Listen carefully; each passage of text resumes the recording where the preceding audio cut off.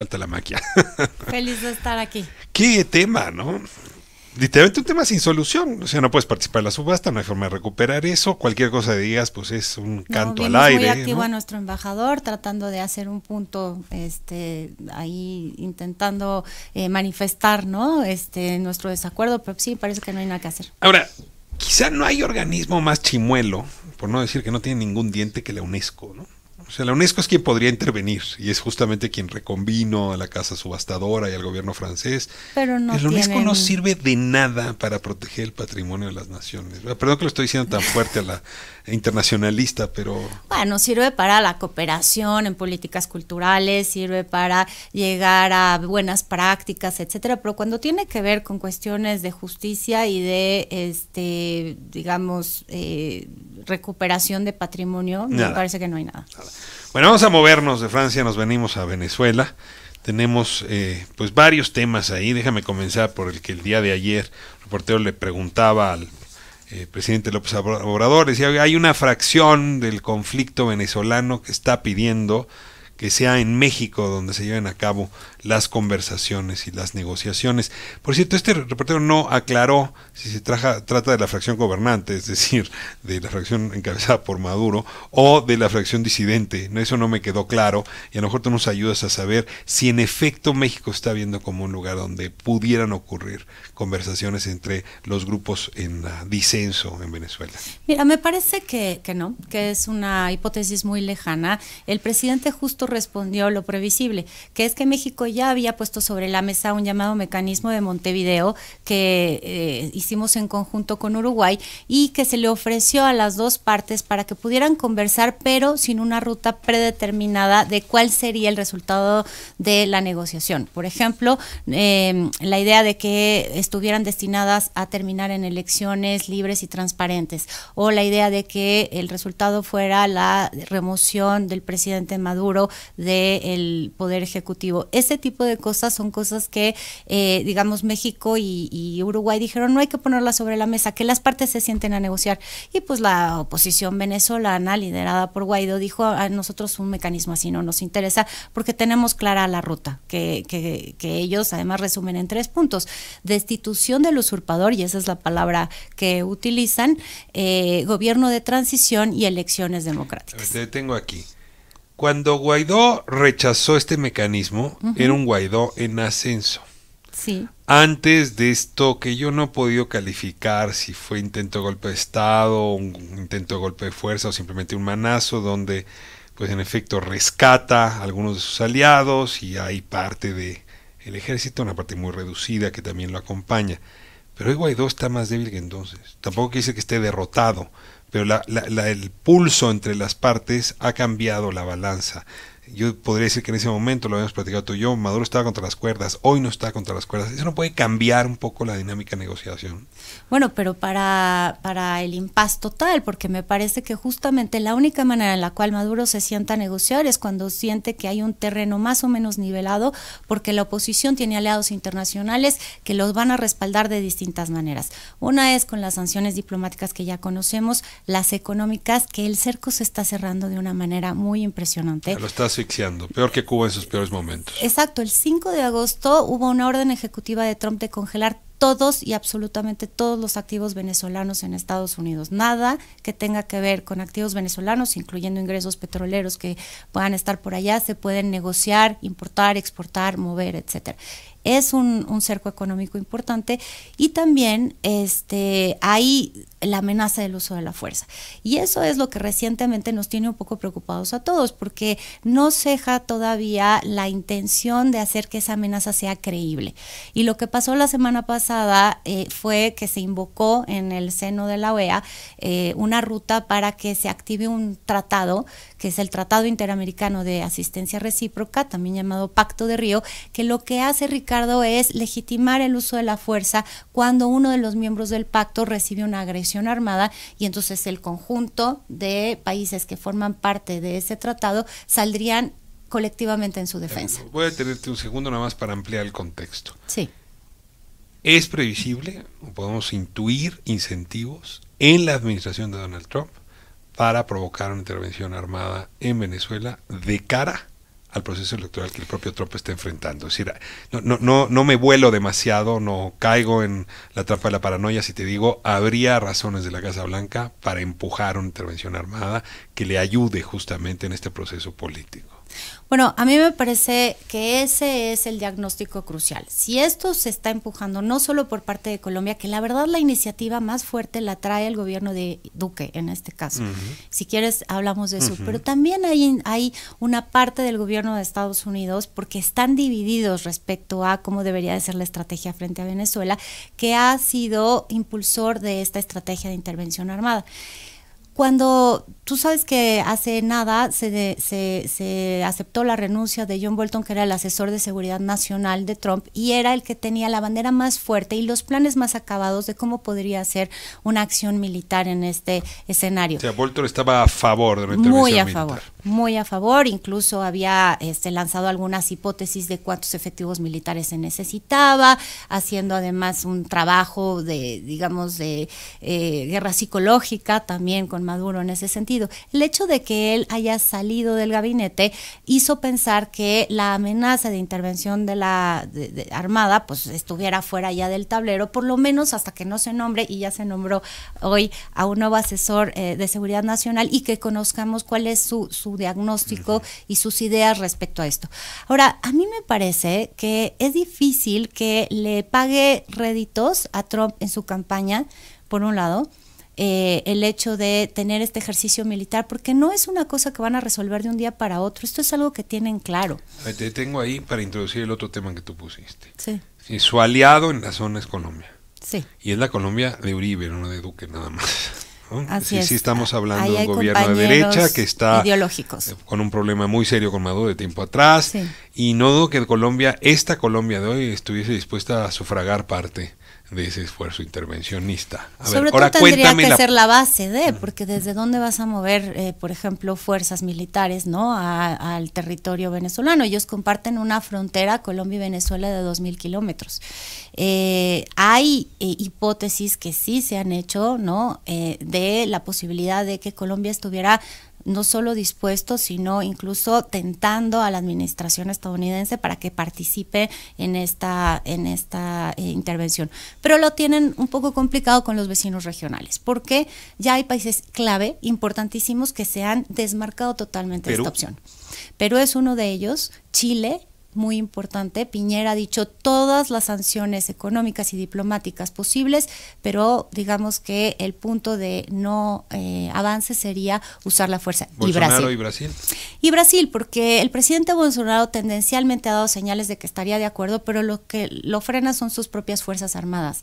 Las fuerzas armadas brasileñas no tienen la intención de desestabilizar así la zona, ni de dar un golpe de fuerza así, porque Brasil es un gigante, Ricardo. Si Brasil eh, hace este tipo de eh, intervención y sienta el precedente, lo que genera es inmediatamente un ejercicio de contención frente a la presencia brasileña en el vecindario. Más allá de cómo sea el gobierno de Maduro, más allá del juicio sobre qué tan democrático, qué tan autoritario, sí. más allá del desastre que viviendo Venezuela, los estados-nación, déjame pensarlos así, ¿no? estas unidades que son nacionales uh -huh. de América Latina no tendrían ningún incentivo para abrirle la puerta a una intervención de este orden, porque siempre te preguntas, hoy comienza Venezuela y mañana me toca a mí.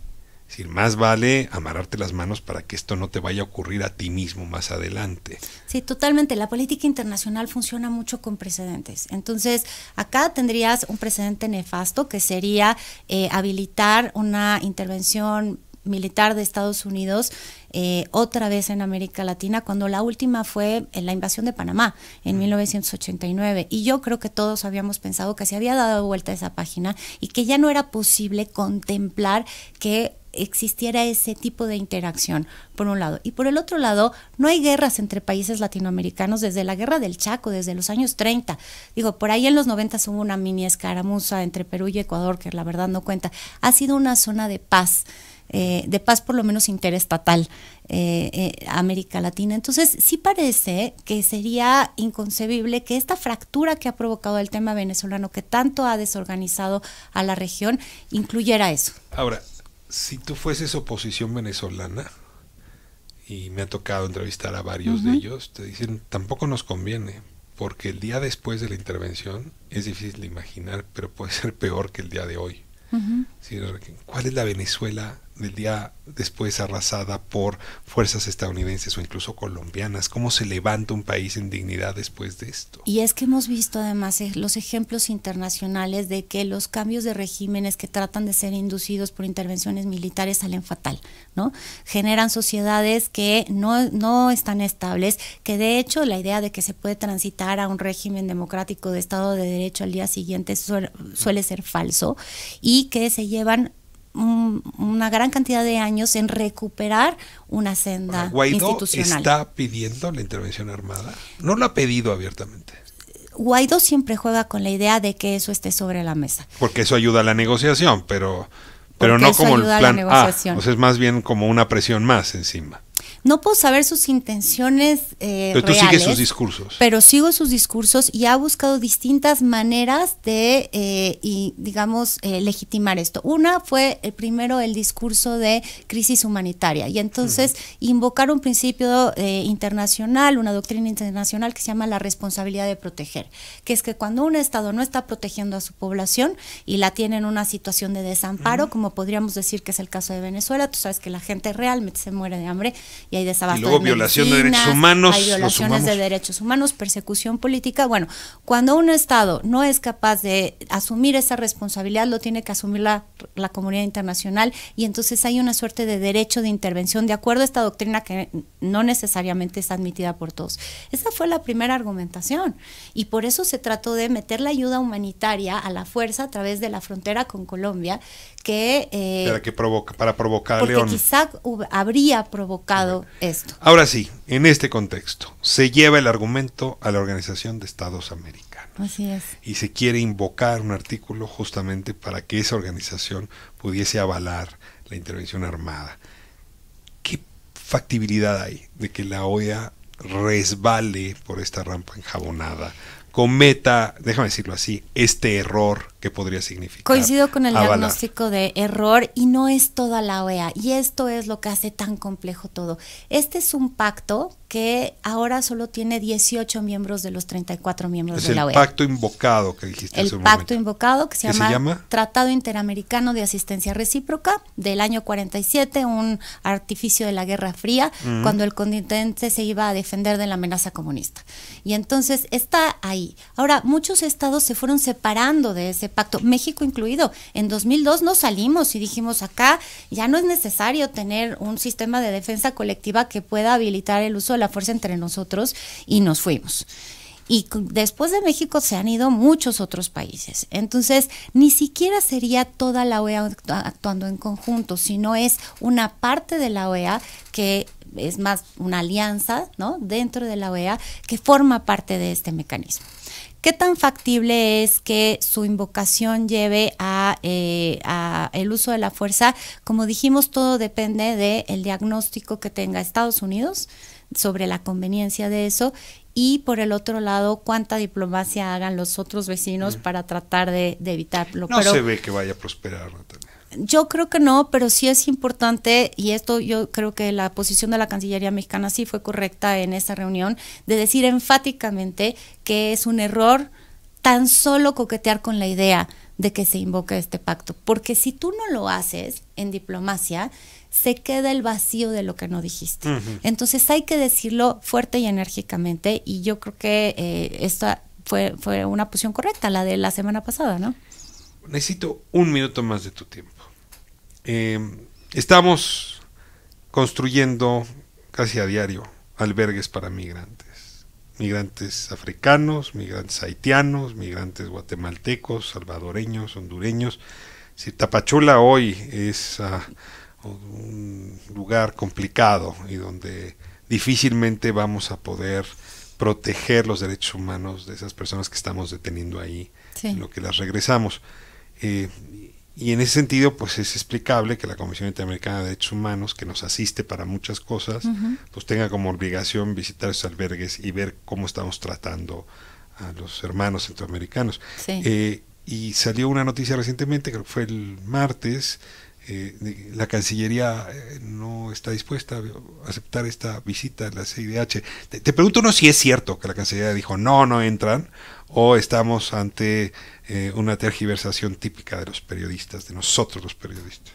Bueno, siempre podemos poner los matices, pero déjame decirte, esta historia comienza de una manera interesante, que es México solicitándole a la Comisión Interamericana de Derechos Humanos que haga una visita a los centros de detención migratoria en Estados Unidos para ver las condiciones de derechos humanos de los migrantes allá. Claro, pues es la yunta del vecino, no la mía. México invocando esta, este organismo internacional para que pueda hacer un reporte e informe sobre cómo está la situación allá. Después la Comisión Interamericana, entiendo que de motu propio dice, bueno, pero entonces esta es una situación a la cual eh, hay una integración del fenómeno y nos gustaría pasar del otro lado de la frontera para ver también qué sucede en México. Tú me pides que visite los albergues gringos, y yo te respondo va, pero también voy a visitar los albergues chiapanecos. Y formulan una solicitud al Estado mexicano para hacer esa visita. El Estado mexicano tarda en contestar, entiendo que no hay una respuesta formal y entonces eh, sale a la luz la falta de respuesta. Y por boca de la subsecretaria de Asuntos Multilaterales y Derechos Humanos, Marta Delgado, eh, de lo que nos enteramos es de que México en este momento lo que dice es, ese ejercicio de observación estaba pensado para un, eh, digamos, objetivo específico y México no puede ser tratado como un país adyacente a Estados Unidos. Hagamos una visita que sea solo para México y que la Comisión Interamericana de Derechos Humanos le dé al Estado mexicano el mismo tiempo de preparación de visita que le da a otros estados cuando solicita estas, eh, eh, eh pues nada, estas visitas. O sea, a ver si estoy entendiendo bien. Déjenme barro la casa, sacudo los muebles. Puede ser que sí. Limpio las cosas, sí.